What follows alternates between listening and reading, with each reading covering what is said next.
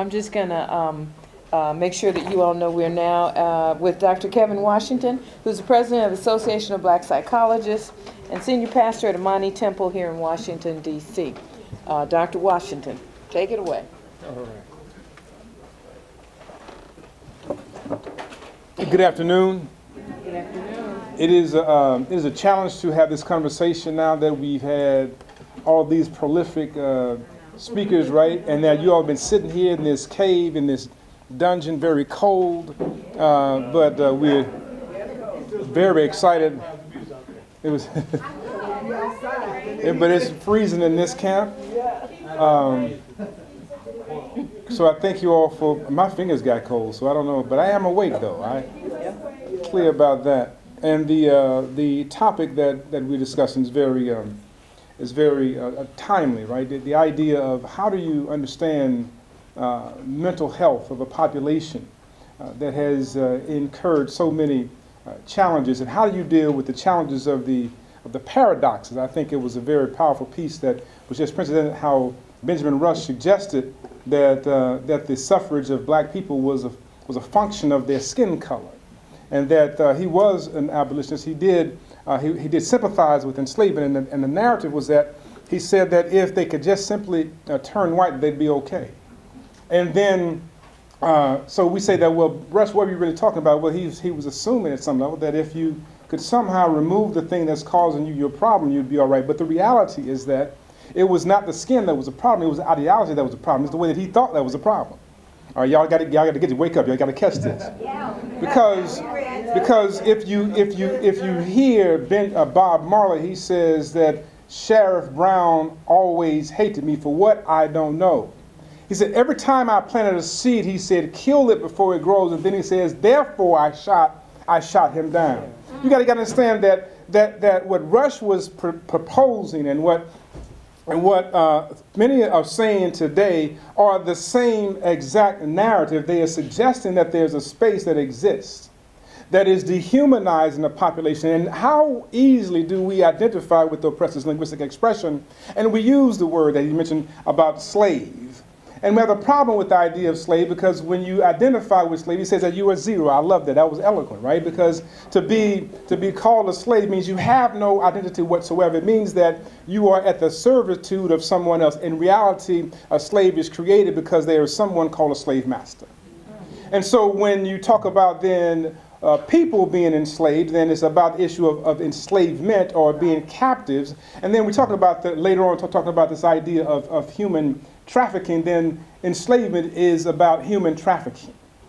And human trafficking means that there is a process of pain and dehumanization that goes along with that particular process of uh, human trafficking. And so we're talking then not about an, a, a moment of traumatic experiences. We're talking about historical and cultural trauma, which is why we can't even talk about post traumatic stress disorder. We talk about people of African ancestry. Because if it's, if it's about uh, post-traumatic, and post means that we are out of it, we've gone beyond it. The reality is that if we continue to experience it over and over again, it is persistent, and so therefore we can't have a post moment. You can't do uh, a therapy on someone in the trenches uh, when they're when they're at, in, in war, and, and, and you're telling them, asking them, how does it make you feel, and, and bullets are flying over your head. You can't do therapy. It doesn't work because you're in the middle of the moment, and so what we recognize is that we are in the middle of a moment, and we, we ask the question uh, uh, Is there something wrong with the mental health of black folks? And we would submit that yes, there are some things that are, are wrong with us. There's a whole lot of things that are, are wrong. That matter, the whole lot should, should be some mo things, S U M O, things wrong with the population based on what one has experienced generation after generation after generation right? But the real check is not the issue of trying to understand the people that are trying to survive this, this horrific condition, but the reality is understanding those who continue to met out these kind of conditions and then call it normal. The idea is that when one begins to speak out and suggest that uh, I can't breathe, they come back and say we can breathe. When somebody comes and says that black lives matter, they, they, they say that all lives matter. And, and so every time there is a conversation, there is a countering to our conversation. That is a psychologically dehumanizing process as well. And so, who are those people that can sit around and stand around and watch somebody being lynched and celebrate that entire process, can cut off body parts and disseminate them among people that are standing there and then say, We had a picnic today? Think about what that means. So, when we talk about this idea of mental health and mental wellness, we got to recognize that we all sick in this piece.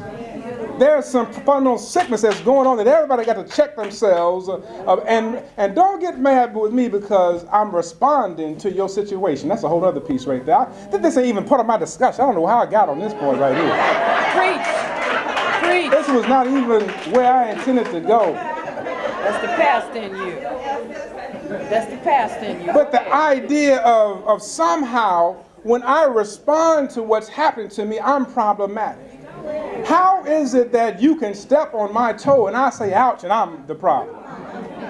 Right? And so we're stuck in this process of trying to navigate a space, trying to find ways to, to leverage something, to begin to address challenges that, that we face, and we just can't figure out how to do it. And all of a sudden, when somebody stands up and says that I will show you how to deal with it, we want to say that they have issues. Yes, there are issues that we all have. There are people in my family that I've seen do some very strange things. You were correct, uh, Elijah Cummings, that that's how I got into psychology is because I saw certain things and I wanted to answer those questions. And then uh, there are other things that I wanted to respond to. And the thing that I wanted to respond to is what is it about black folks that makes them to be able to find ways to navigate a space and maintain some level of sanity in the entire process of an insane, insane situation. How is it that you can take some pig guts and you can make them into chitlins? I wanted to understand that. For, for me, that, that, that, that's, that's where you can find some, some fundamental wellness because you can find something and you can turn nothing into something. I want to understand that. And so we need to understand that when we talk about treatment, we can't apply this, this treatment modality from a European perspective and expect somehow that we're going to address the challenges of, of our folks, right? Yeah. Watch this, right? We, so, so we said, how do I get over the stigma? If a part of my problem is a function of European racism and you, uh, and you were talking and acting like Europeans, and why in the hell am I going to come to you for some help? You can't help me right? Because you are advancing the same thing that's causing me some problems. So don't type of stigma. Yes, there's some stigmas. The other thing is that is, is that, that I can't be crazy again. I can't. First of all, I don't want you to tell me that I'm crazy. But I can't even exist in a space and be crazy. I got too much stuff to do to stop and be crazy right now. Is that making sense? I'll be crazy tomorrow, but right now I got to handle these things. And you all presented, right, the idea of, of, of economics, and we mentioned the idea of the relationship between economics and, and, and, and mental illness. And there is a connection, and I, and I have plenty of research about that. And the issue is that everybody knows that when your money is funny or changing strange, you don't think right. right. Things just don't happen. And so there's not a population that desire to be in poverty. There's a condition of institutionalized racism that has impoverished the population, and therefore people are trying to react against that thing that's struggling against them, right? So, so you, you have your foot on my neck, and then you're strangling me, and then telling me somehow that I'm choking. You've clipped the wings, and then say that you can't fly. You've broken my legs, and then say I can't walk. Then you ask me somehow that, that how, what, what, what's wrong with me? Watch this idea of uh, this process of, of how people can, can, can castigate a population without even touching them. Black people have watched a president that looked like them go through all the gyrations that people say that if you just simply do these things, you will be okay.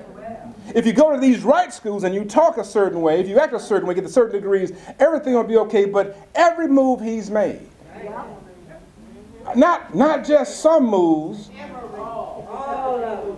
Can we, I'm in D.C., hurry.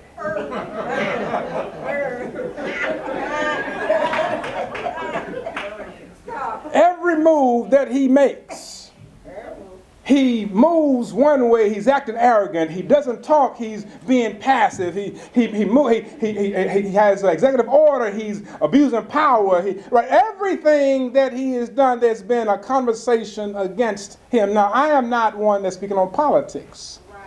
I'm a black man observing phenomena. And what I see is that there's a phenomena that even if you suggest to me this is the greatest country in the entire world, most powerful place that I can be, and yet this person has gone through everything that is supposed to be possible to make him okay, and he doesn't have enough. He can't do enough. He can't run fast enough. He can't jump high enough. He can't speak everything. And then even when he speaks well, it becomes the issue of uh, uh, uh, he, he, a very articulate man. He's a great speaker. Why are you hating? Because the man can put things together. As a man that was before him talking about going to hunt him down. Going to smoke him out. Right?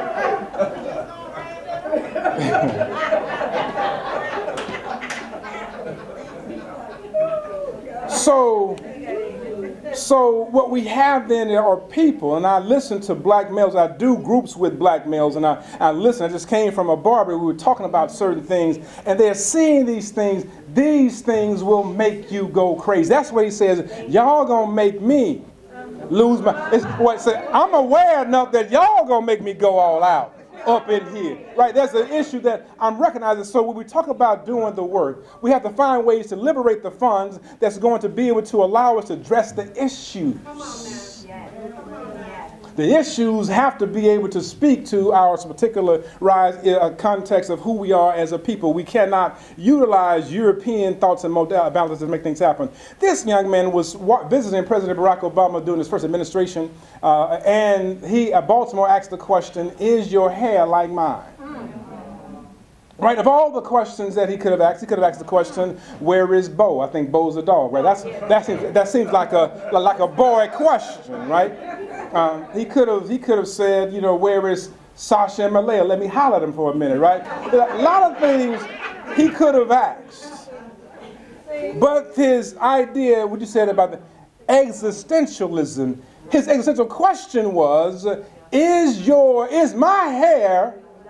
Like yours that I have learned at by the age of four or five that something about me is, is, is, is, is, distorted, it, it is, is problematic. And if it is a problem for me, then I need to find out that if you are this president, do you have the same thing? Because maybe I can figure out how to change some stuff because right now I don't believe I have any worth and value. This is at, at three or four years old. So don't think that somehow somebody becomes become, gets to get to Dr. Lawson, uh, they uh, uh, uh, become 20 and have show signs of schizophrenia. I'm having some problems right here, right now. The work that we're doing has to be about socialization of black children, has to be about reaffirming who they are identity, have to be able to be able to tell them that there is a war that is happening, have to be able to tell them, as you said, that the war is on and the hunt is on you to pray, have to be able to talk about the caste system. The U.S. has 2.2 3 million people in prison. Pause. China has 1.6 million people in prison. Which population has, which, which, which country has the greatest population? England has 87,000 people in prison. This is not me talking, this is just some data that I collect, I'm, I'm, I'm just saying. So when we talk about the prison industrial complex, there's a process by which people are engaging in the perpetuation of enslavement experience through incarceration if I can find ways to oppress you and look at, listen to this right here. Fetty Wap talks about, no, you're not talking about Fetty Wap, did you? Trying to, somebody else in here knows who Fetty Wap is. If, you don't know who Fetty,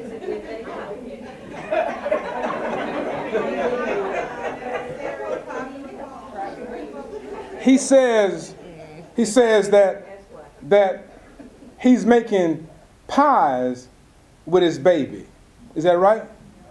Am I right? Help me out. Fetty, come, come on. Don't look. Don't look off now. I need you as a resource.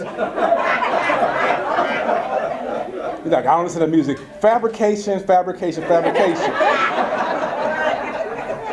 I got a 13 year old, 18 year old daughters. I am listening to this stuff all the time. And he says that he's making, my youngest daughter said, Daddy, he's talking about pies. No, he's talking about, he's talking about, he's making contraband in bandos. I thought bandos at first was band of money, right? Bandos are abandoned houses, right? And so he talked, oh.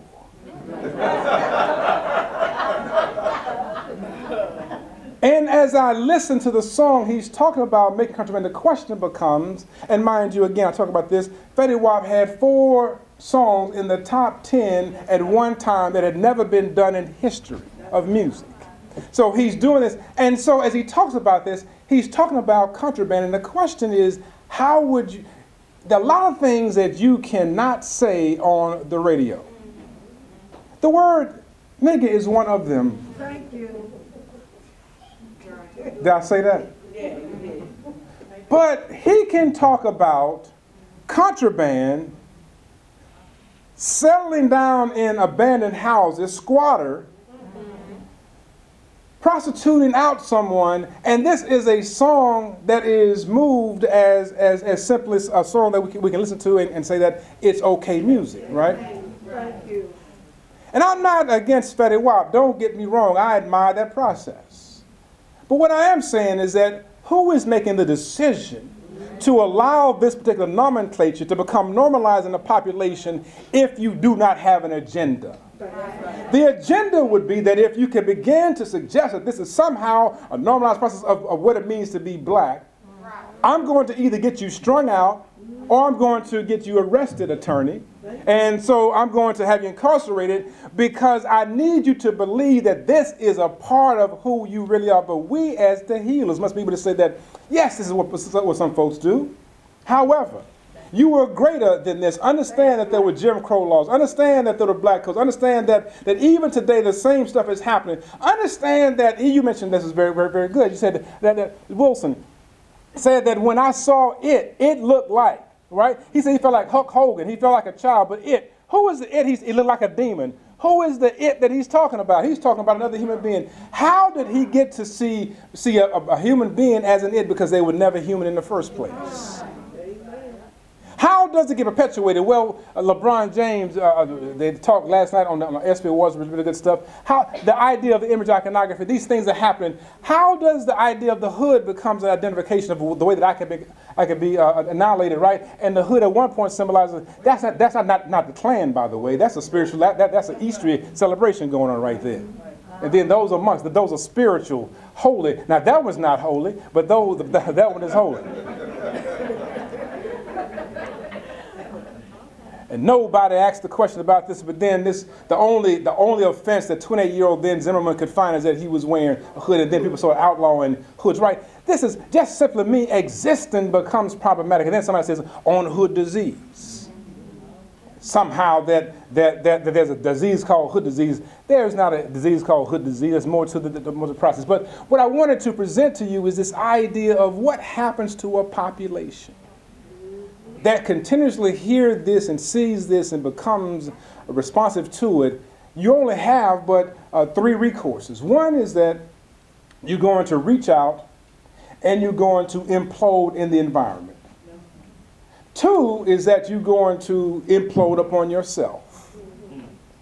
And the third one is that you're going to move into relative obscurity, internalize and become something unlike yourself in the, in the whole process, right? The identity conversation that we have. That's all that you have, the options that you have. There's nothing that t- shows you the possibilities of what it means to be human, what it means to be. And so we have to understand that the, that the, guy, the, the, the, the violence that exists and the problem that exists and all these things, and there's, there's data on, on about this, is a function in some level of people trying to, try, trying to find ways to rehumanize themselves.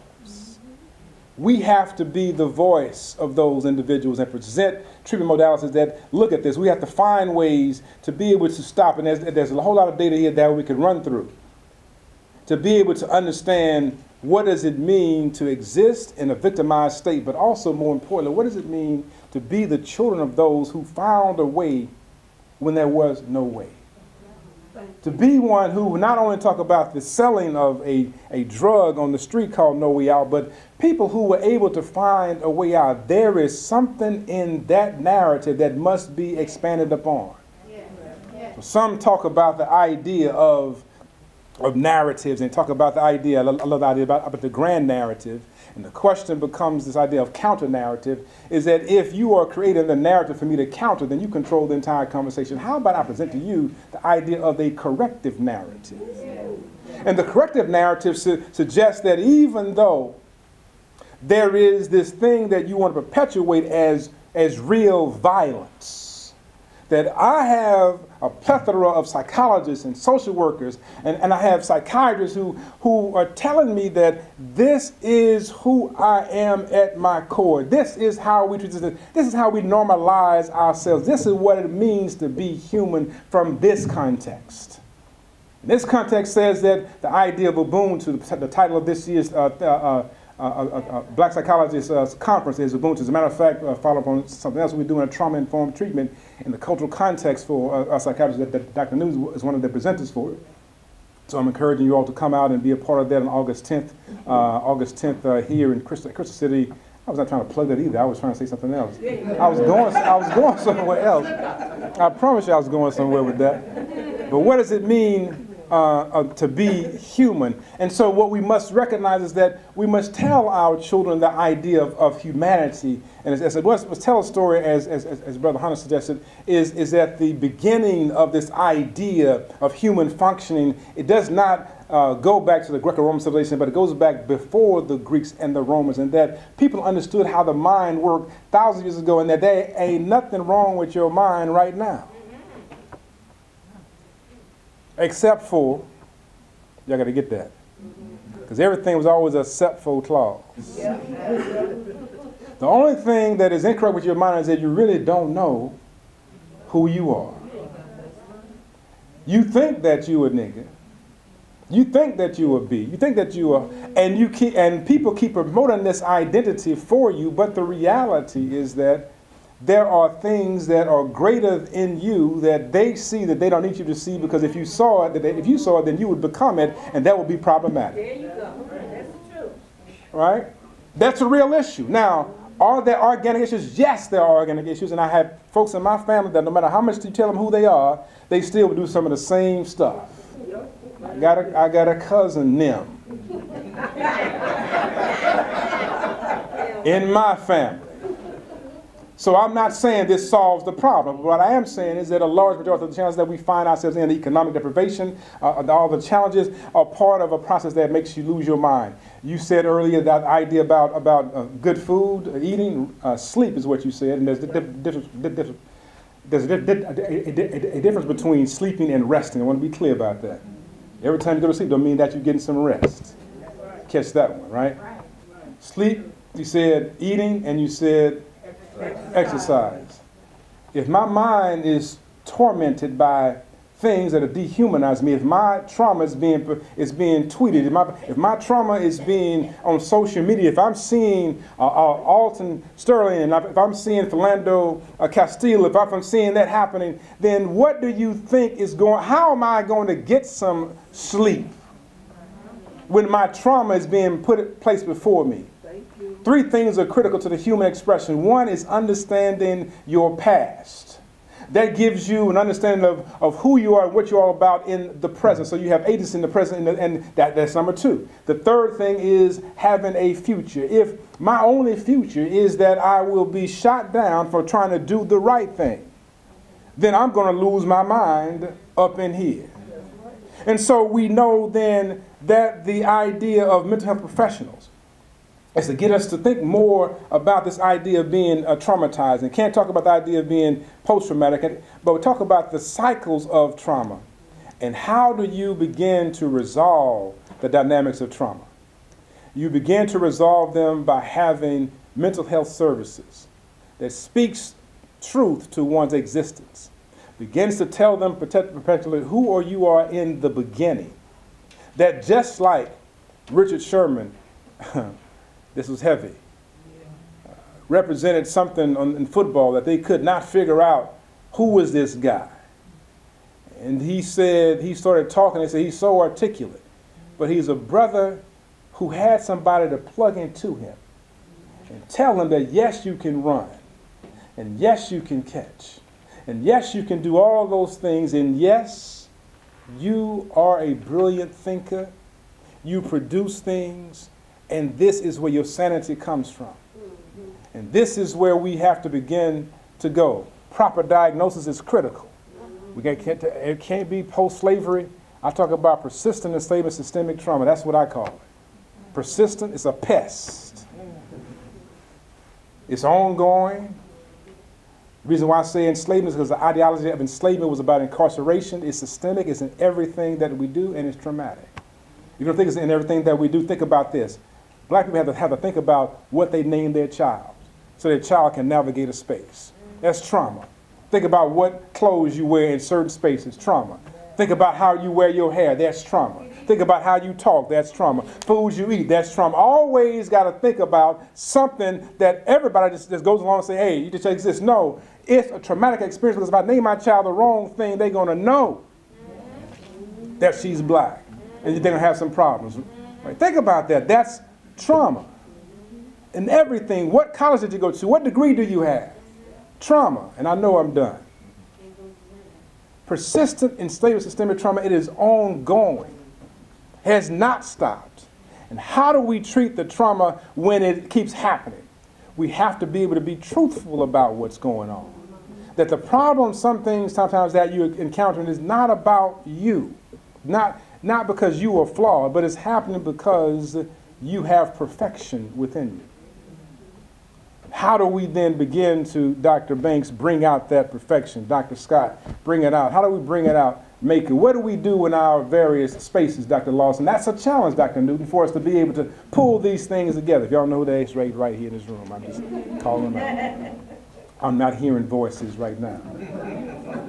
But I do hear voices. And those voices tell me that no matter how bad it gets, no matter how dark it may seem, that we must keep on keeping on because when you are speaking sanity in an insane situation, you may be the one that's questioned. When you prepare yourself to be different, you must also understand that you will be misunderstood. And I have admired the work of Dr. Lawson for a number of years. And I have seen and heard him be misunderstood over a number of years. Dr. but it always made sense to me in the end. Like that makes a lot of sense. Dr. Newton, Nana, same issue. Baba Leonard Dunston and the black social workers and all have been speaking the same thing. And we've been trying to make things happen. And they said that, well, if you just reorganize your thinking in a certain way that it validates our existence, we'll give you the money to make it happen. And we get caught, and then other black folks say, well, you know, uh, we can't, I can't get paid from this. But the reality is that we know the truth. And we move in that truth, then we will see a new reality. Thank you.